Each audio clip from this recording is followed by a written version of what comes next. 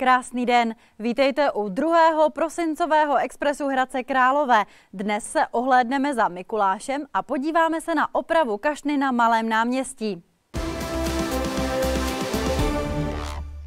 Kašna na Malém náměstí v Hradci Králové bude opět v provozu. Příští rok se fontána ukáže v novém kabátě.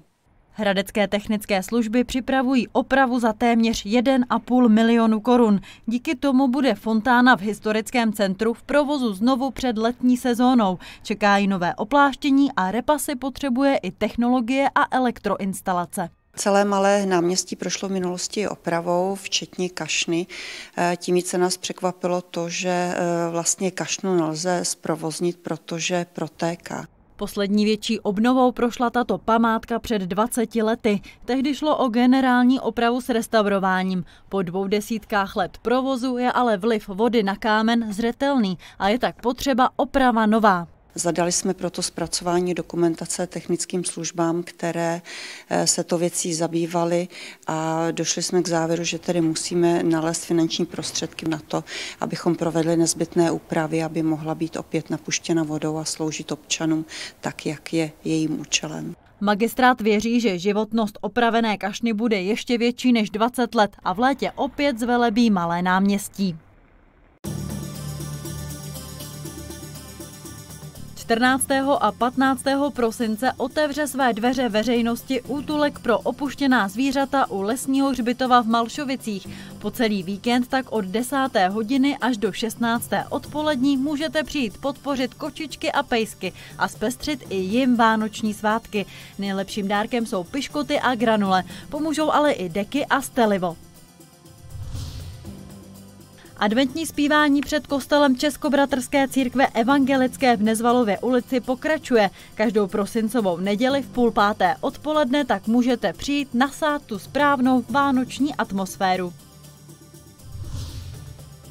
Přes zimu budou hradecké služby odvážet bioodpad z hnědých nádob jen jednou měsíčně. Produkce takových odpadů je totiž v zimních měsících mnohem menší.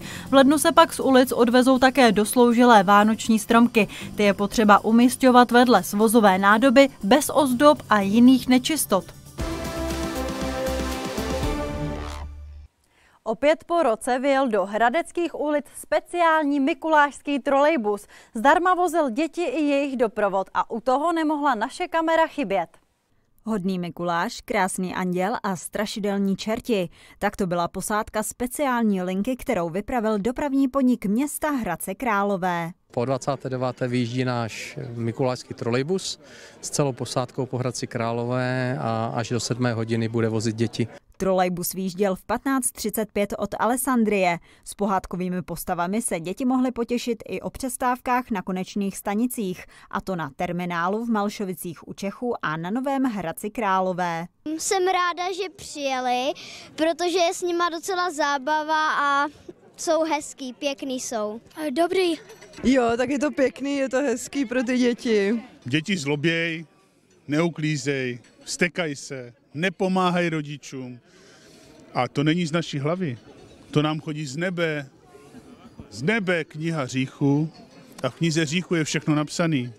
A některé děti, které jsou už ještě relativně malé, mají knihu říchu popsanou, chybějí dva, tři řádky a prostě musíme je vzít do pekla.